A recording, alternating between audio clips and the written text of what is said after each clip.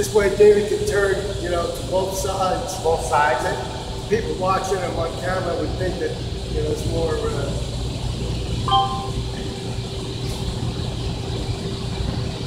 Okay. Um, I did fill you in on some of the, the good news. Um, one piece of information we talked about briefly is uh, uh, August we have a, a, family camping trip, so I wasn't sure how we are going to handle church. And I was thinking about doing a live stream from up there, and, and I'm very apprehensive about that because I don't know if I'll get signal enough to do a live stream in the middle of nowhere up in the mountains. So it was extremely frustrating because I don't want to close the door. We're, you know, we're just starting to see new faces, and we don't want to uh, put ourselves in that position. So, on the way to church this morning, I thought to myself, you know, we're paying for the space anyway. Why can't I, instead of doing a 10 o'clock service, why can't I do a 6 o'clock service? So after um, service today while I'm uploading today's sermon. I will email Zach and find out if we can do a 6 p.m. service. Uh, but I think that's a viable solution to that problem. Uh, I will send out uh, a massive uh, marketing campaign on that. And you never know, God willing, that could turn into an evening service for us. Even if I have three or four people, just like I do now, have three or four new faces that will be coming to church and hearing the gospel. So there might be an opportunity there. So on August 13th, uh, there won't be a 10 a.m. service. Provided that Zach is uh, willing to work with me, we'll probably have a 6 p.m. service. Um, and again, there's another opportunity. You may know people that have plans during the morning, and you can invite them to church. Um, this week I'm going to order materials for our uh, open house and our uh, soul winning uh, door knocking we're going to be doing in the month of September. Um, that uh, day is scheduled for the open house October 2nd at 6.30. It'll be a Monday evening. Uh, hopefully we can get some more people to come because Wednesday night seems to be a little difficult for a lot of folks. Um, in addition to that, that particular piece of uh, material that we're getting is going to be multiple uses for it. We're going to be using it for a winning tract. On one side, we're going to have the Romans Road on there. Uh, on the other side is going to be two invites. One, a call to come to fellowship. And two, uh, the obviously the open house meet on October 2nd. So we need to be pushing uh, people to come to church. I mean, they need to hear the gospel. Of course, a, a open house is a little bit less uh, intrusive. Uh, it's worked for a lot of church planters to bring people into a neutral environment to get to learn about a church, learn the church history, uh, and decide if that's the family they want to be a part of. So it's worked for a long time um, to do an open house like that. Uh, they're the church planting ministry that that's all they do. They go from town to town they do the soul winning. They invite people to an open house meet and greet, just like we are doing. And that's incidentally that's where I got the idea from, and it's working. So I'm trying to combine as much of, of, of uh, what I've learned into one package to try and uh, stir the community. Uh, and of course, in the end, it's really about God, and He does all. Um, Monique Delphin contacted me again, asked me if we're going to be doing any more work. Uh, I said our major focus right now is soul winning. So uh, she is uh, going to be coming out likely to help us. Uh, and uh, she may bring her brothers and sisters with her. Um, now, the other thing I want to talk about is I want to do more than just a Saturday morning.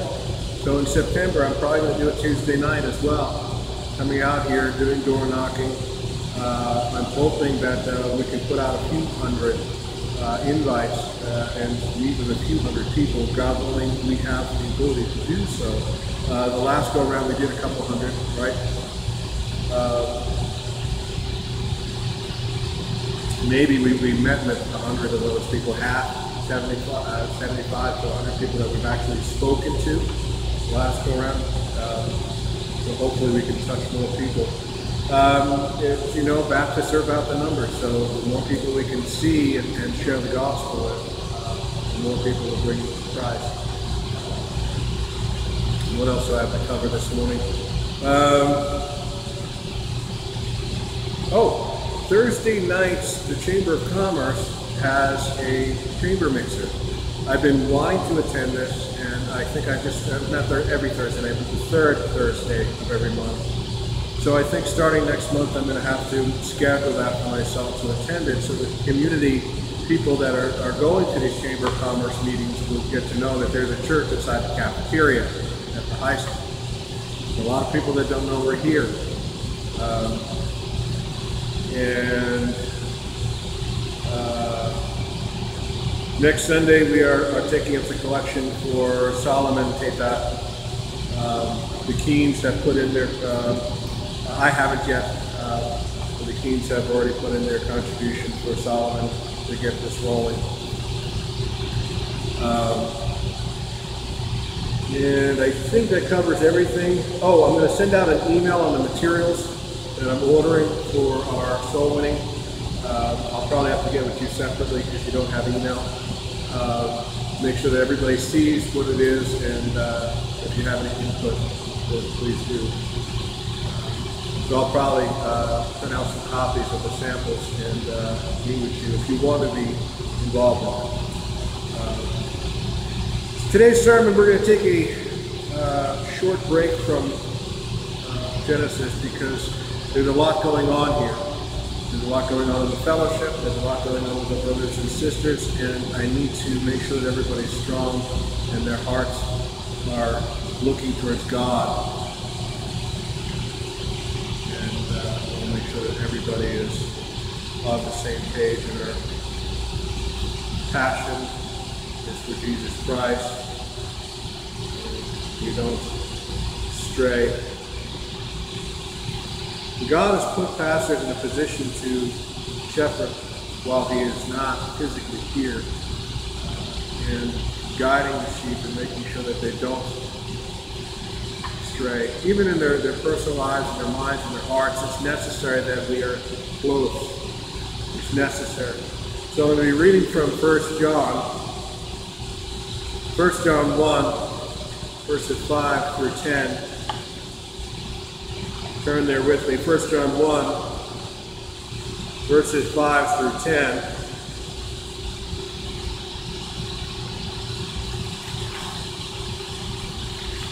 just before Revelation.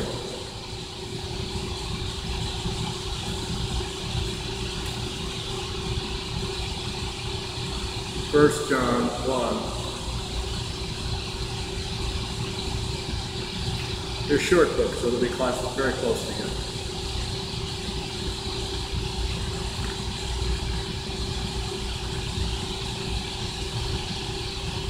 Okay. You're all together? 1 John 1, verse 5 through 10. This then is the message which we heard of him and declared unto you that God is light, and in him is no darkness at all. If we say that we have fellowship with him and we walk in darkness, we lie and do not the truth. But if we walk in the light, he is in the light. We have fellowship one with another. The blood of Jesus Christ, his Son, cleanses us all from sin.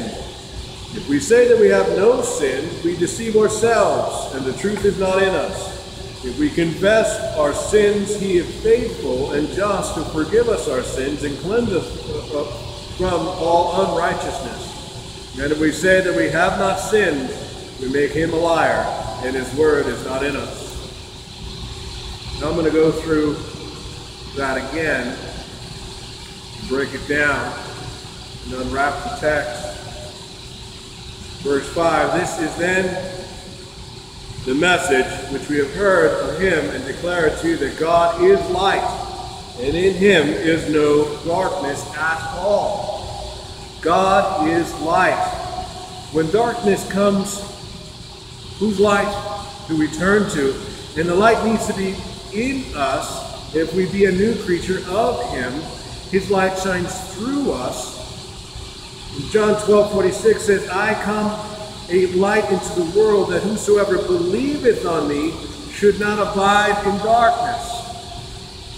Now, there's a lot of people out there that I'm hoping that you're watching today. I love you dearly, but you're walking darkness. You have to believe. Belief and faith are gifts, for by grace ye are saved through faith, and not of yourselves. It is a gift of God. Ephesians 2 8. Every good gift and every perfect gift is from above, and cometh down from the Father of lights, with whom is no variableness, neither shadow of turning. James 1 17. If light is of him, we need to go to him to have that light. I know a lot of you out there that are watching this. I'm hoping that you're still watching our sermons. Take heed because if you decided that it's a good idea to try smoking again, going out to the bar, drinking again, you're straying. If you haven't been to church, this whole movement of let's be in a little house or, or in a little group, or if you're not doing that at all and you're thinking that it's okay, well, the next section that we're going to get into is going to refute that. You need fellowship, and you need fellowship within the church. Verse 6 And if we say that we have fellowship with him and walk in the darkness, we lie and do not the truth.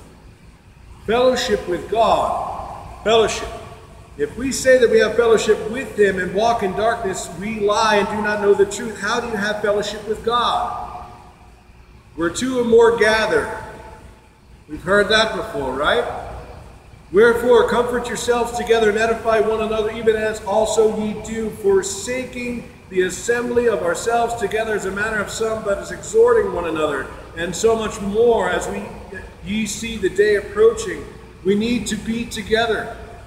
We're watching the world come down and crumble, as prophecy has already stated, and the world is coming to a close, as prophecy has stated. We need one another, and you're not going to find it in a bar. You're not going to find it smoking with your friends. You're not going to find it uh, hanging out uh, in, in lascivious places. You need to be with brothers and sisters. Iron sharpeneth iron, so a man sharpeneth the countenance of his friend.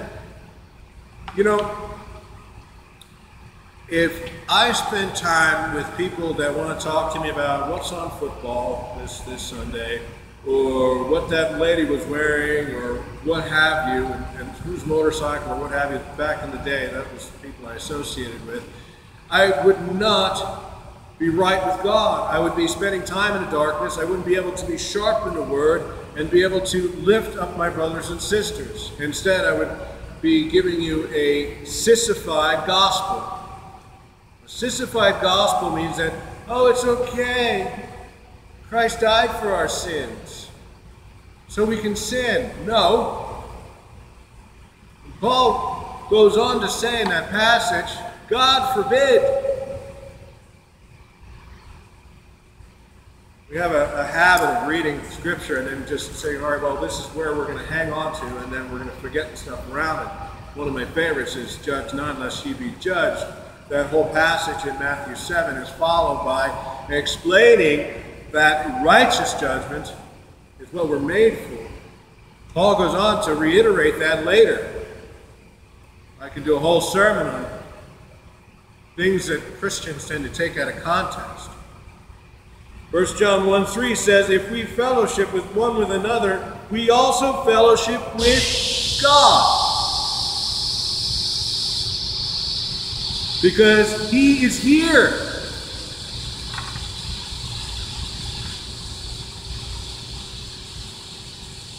Can't get any clearer than that. The truth. Next portion of that particular verse. The truth. Jesus Christ is the truth, and he needs to be in us.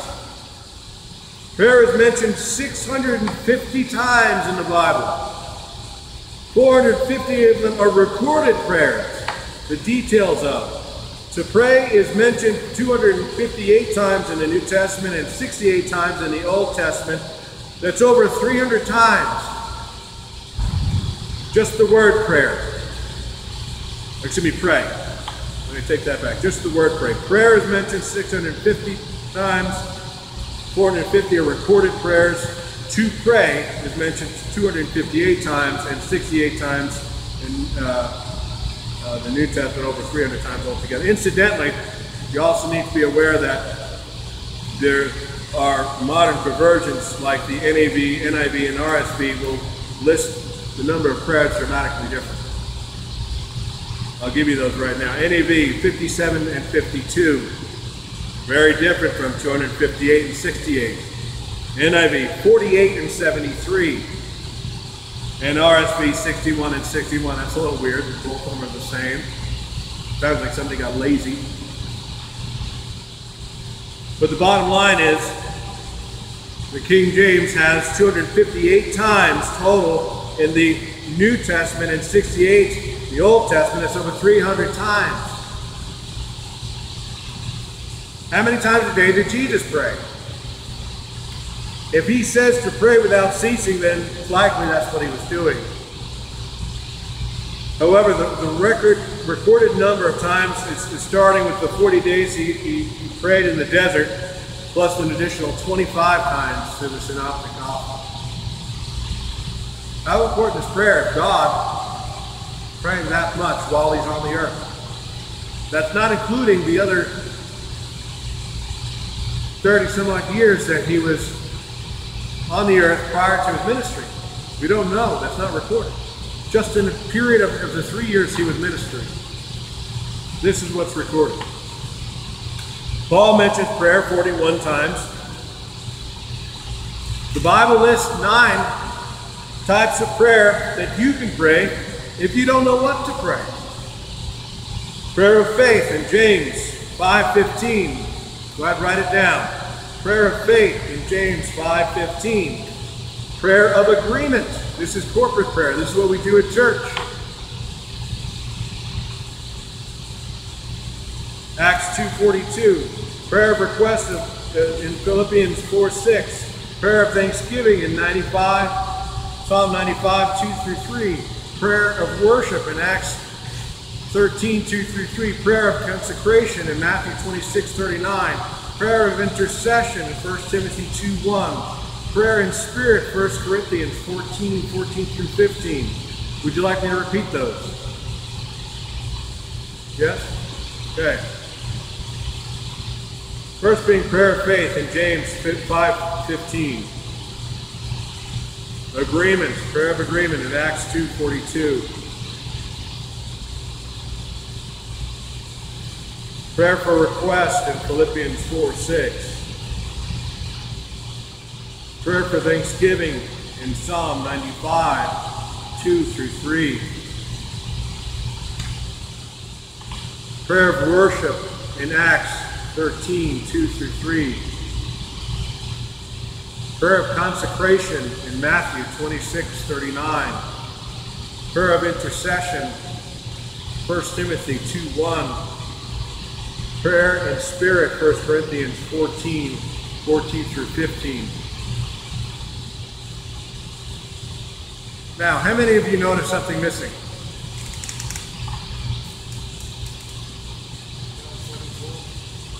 John 17? No, we didn't pray.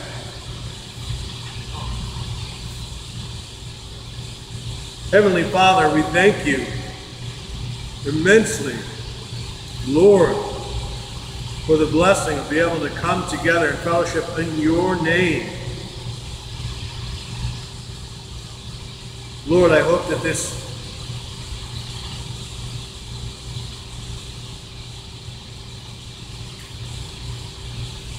service is simply to edify, is simply to glorify you. Strengthen our fellowship. We have members who are struggling with health issues. Even your stewards. Lord, guide us. Lord, guide the message. Pray this in your Son's name, Jesus Christ. Amen. Prayer is necessary. How many of you forget to pray? We just saw that. We can forget to pray because we get up late in the morning. We can forget to pray because it, we've just got finished with work and we're tired, we're exhausted. We can forget to pray for many reasons.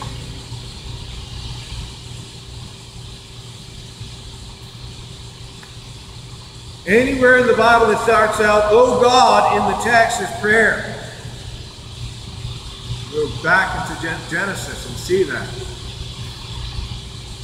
Those who are praying, prayer is the highest form of worship. We were just talking about worship the other day, Walt.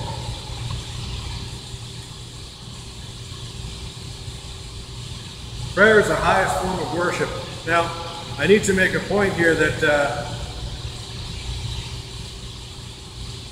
there's only one person you need to be praying to, and that's God Almighty, our triune God.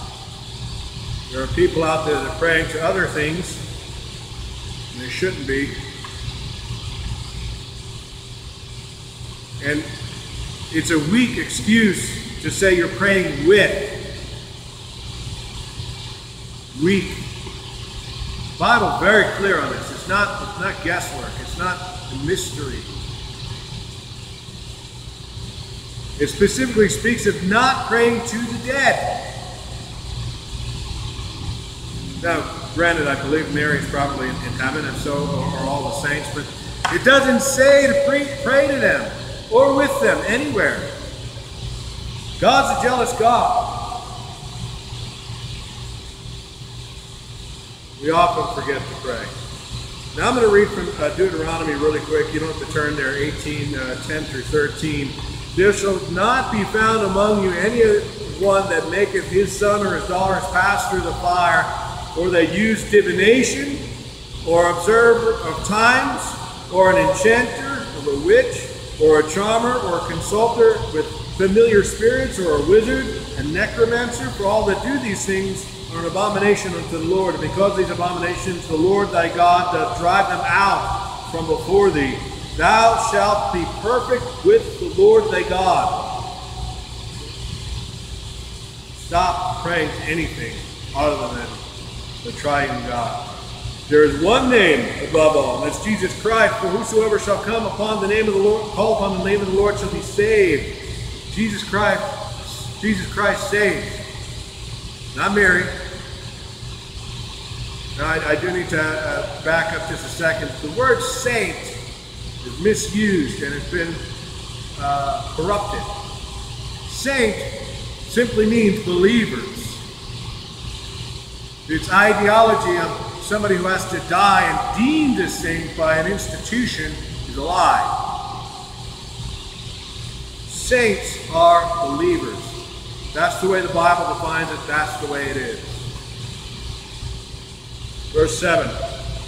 But if we walk in the light, and he is in the light, we have fellowship one with another. Praise God. And the blood of Jesus Christ, his Son, cleanses us from all our sins. Some of you think that you're not dirty, and others know that you are. In either case, pray this particular psalm, Psalm 51.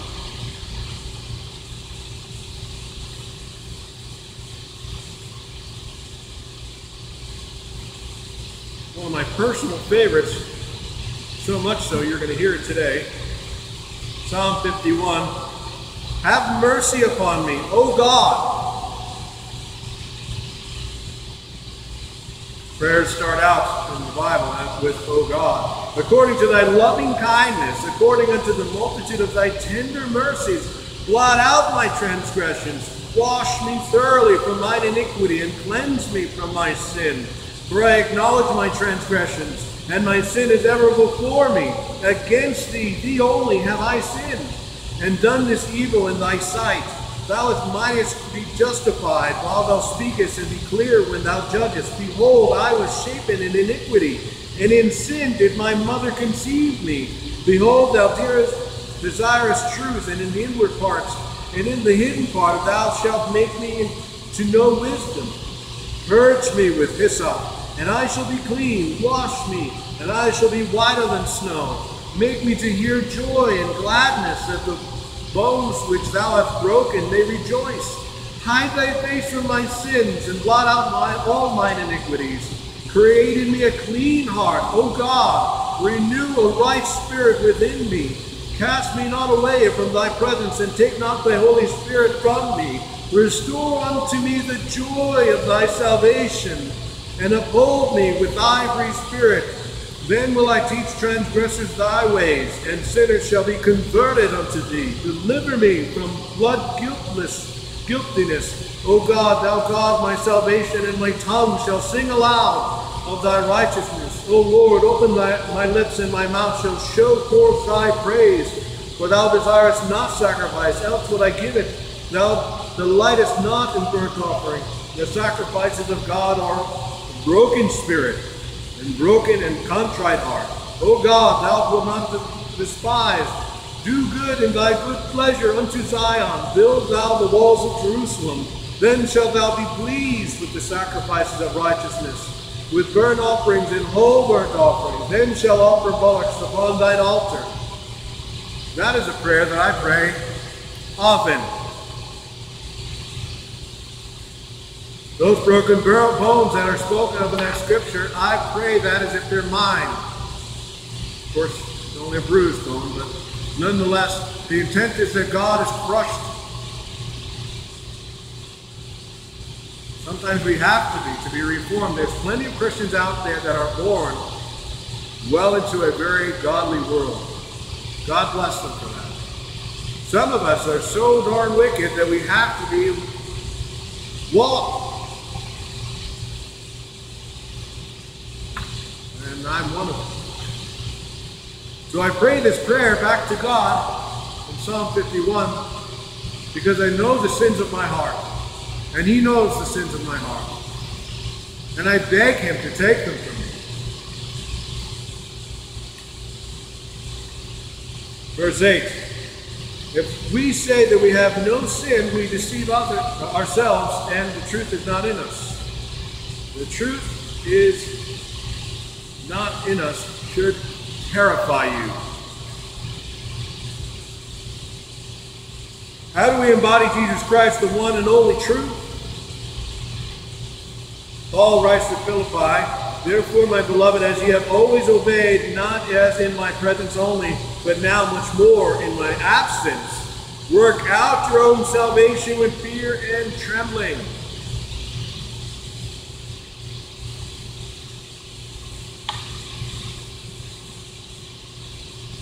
Truth is not in us.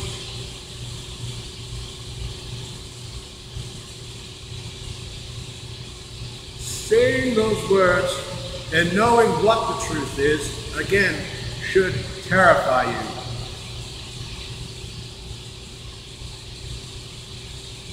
Verse 9 and 10, we confess our sins, we are faithful and just to forgive us our sins and to cleanse us from all unrighteousness. If we say that we have not sinned, we make him a liar,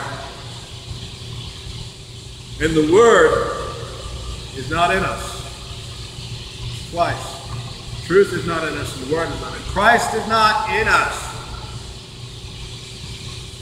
Here we have the expression Chino, Christian in name only.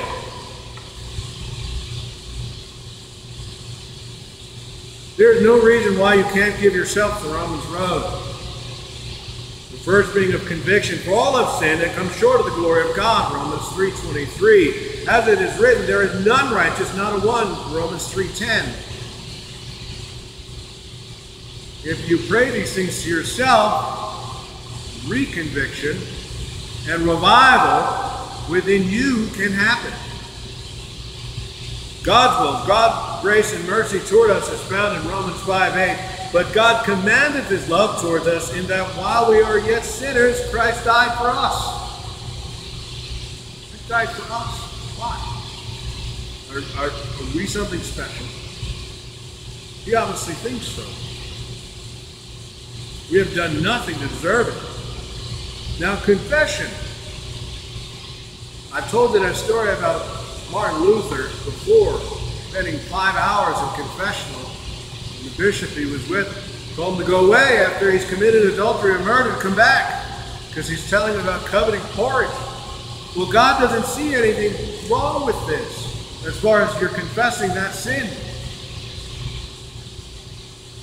We have to realize how holy God is. So that little white lie that you're not, you're, you're, you're, you're, you're telling somebody so because you don't want to hurt their feelings is still an offense to God.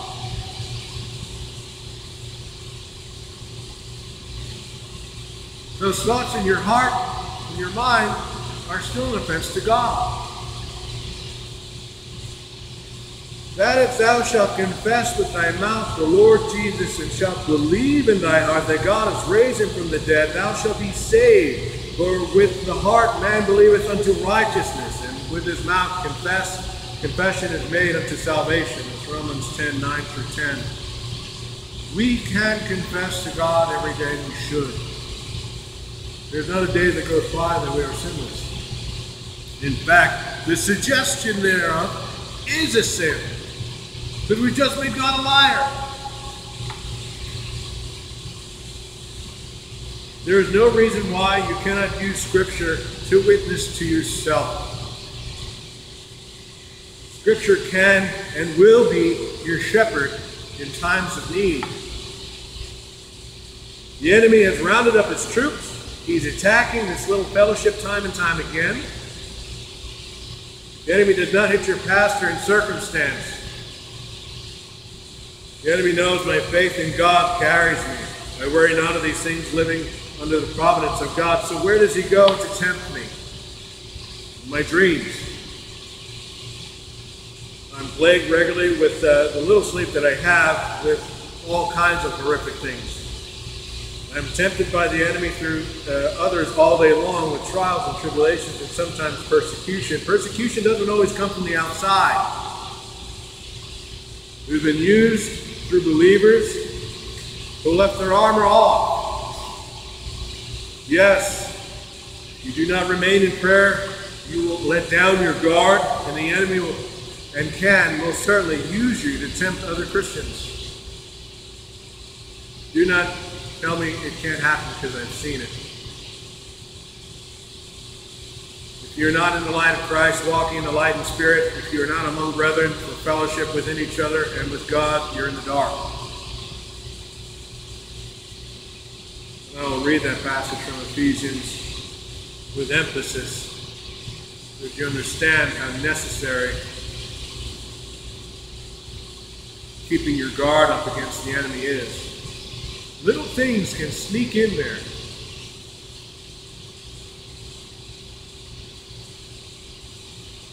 How many times are you tempted throughout the day? Men are tempted more so than women as far as uh, the lust of the flesh are concerned. Women have a very different attitude towards these things. How many times are you tempted? You have to recommit a covenant with your eyes. How many times have you entertained dirty jokes? Finally, my brethren, be strong in the Lord and in the power of his might. Put on the whole armor of God. Not just a little bit, the whole thing. That means you have to be in prayer and study regularly. You have to be with brothers and sisters regularly. If it means calling them on the phone, getting with them for coffee, that's not a bad thing. You should be able to reach out to brothers and sisters. Put on the whole armor of God that you may be able to stand against the wiles of the devil. For we wrestle not against flesh and blood. Flesh and blood's easy. You can overpower it with might. But against principalities, against powers, against the rulers of the darkness of this world, against spiritual wickedness in high places. Demonic warfare is very real and it affects you in ways that you have no control over unless you are in prayer, unless you are in study, unless you are close to God. Wherefore, take unto you the whole armor of God, that you may be able to withstand the evil of the day, and having done all to stand, stand therefore, having your loins girded about with truth, and having on the breastplate of righteousness. Girding the loins, again, I might have talked about this before, the cloak, they tie it up in front so they're ready to run, ready to work. Doing the work is so very important. Again, another passage of scripture that is, is often misconstrued faith without works is dead. Well, those works are, are only of believers. If you're attempting to use those works to attain righteousness and, and salvation, it's just not going to work that way. That's only obtained through Jesus Christ alone. But those works are for believers. The believers who are doing nothing will find themselves in a whole world of trouble because they will let that armor down. They will let their guard down. Stand therefore, having your loins girded about with truth. Where's the truth? In the Word of God. Telling you to study your Bible. Having the breastplate of righteousness, and your feet shod with preparation of the gospel of peace. Above all, taking the shield of faith what an amazing gift that is. Wherewith ye shall be able to quench all the fiery darts of, of the wicked. You know, you can go before the Lord and pray for a double portion. That's a whole other sermon. You can find out in the Old Testament. Remember who it was that prayed for double portion. We'll talk about that. Praying for a double portion, there's nothing wrong with that. Lord, I need a double portion of faith.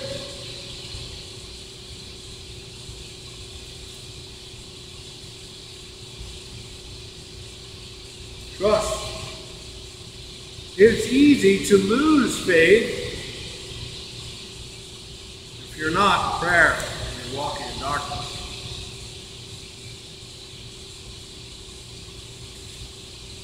Take on the helmet of salvation. Knowing that you're saved is tremendous. Going into battle, knowing that God has already prepared a place for you, and the sword of the Spirit, which is the Word of God. I love how the Scripture interprets.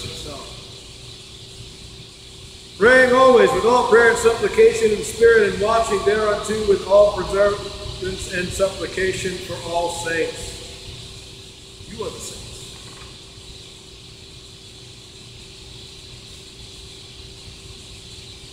You know, I can't tell you how many times I've gotten home from work. Um, my day starts at 1 a.m. Prayer, and often I have to write a paper. And then I'm off to do my my tent making. I'm usually on the road by 2, 2.30. Do my tent making.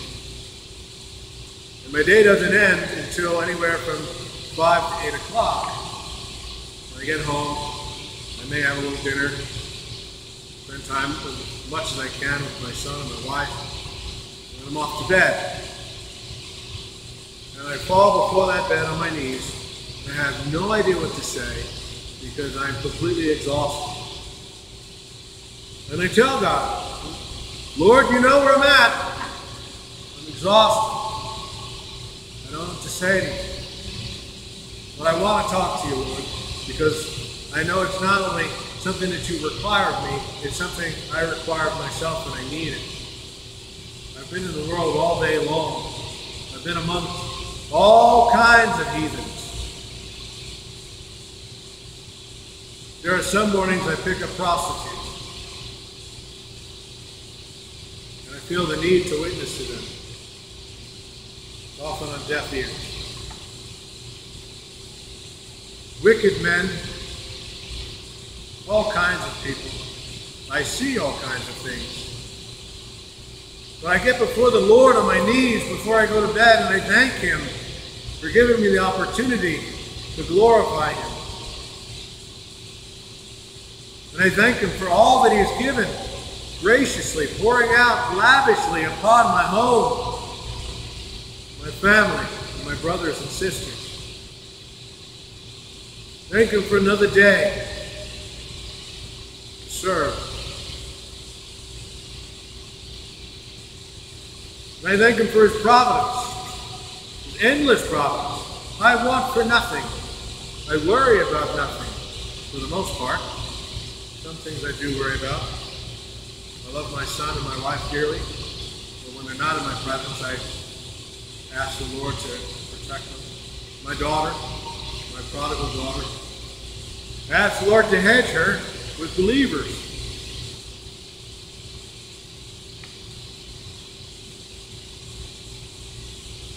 And then I go and I step boldly before the throne with petitions because I know God wants to hear them. He created us fallible so we would need Him. Don't think that you cannot go before the Lord and appear needy because you are. You have no idea how truly needy you are. Your next breath is not guaranteed. Your heartbeat in your chest is a gift of God. So when you go before Him and you say, Lord, give me rest that I may wake tomorrow strong and ready. There's nothing wrong with that. Lord, I need this, I need that. Lord, I want you to help with my, my, my brothers and sisters. I want you to do this. Please, Lord, help me. It's okay. Because He's created you to need Him. And through that need, you worship Him and glorify His name because it's all from Him. Every good gift is from heaven. Get out of the dark. If you're not with brethren, today on the Lord's Day, you're not seeking fellowship with the Lord who is sharpening your iron. I implore you to fall upon your faces in prayer and regain your faith in the Lord. He will deliver you. Every member, part of the whole. When one suffers, so do we all. Heavenly Father, O Lord God in heaven, we thank you. We thank you so much for your word. It strengthens our hearts. And I pray that it turns many back to you, those who have strayed.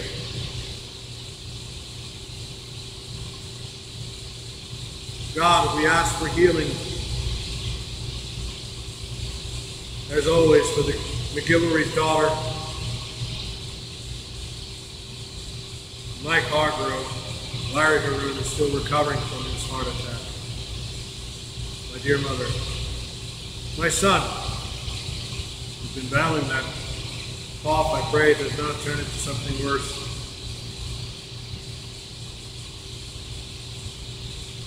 I give them all up to you, Lord.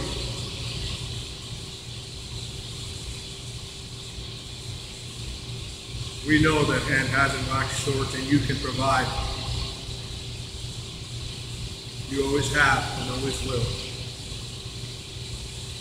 Lord, we thank you for those of you put in our path to guide this little church. Lord knows I need this, this guidance. Thank you, Lord, for all that you've done for us. We pray this in your Son's name, Jesus Christ.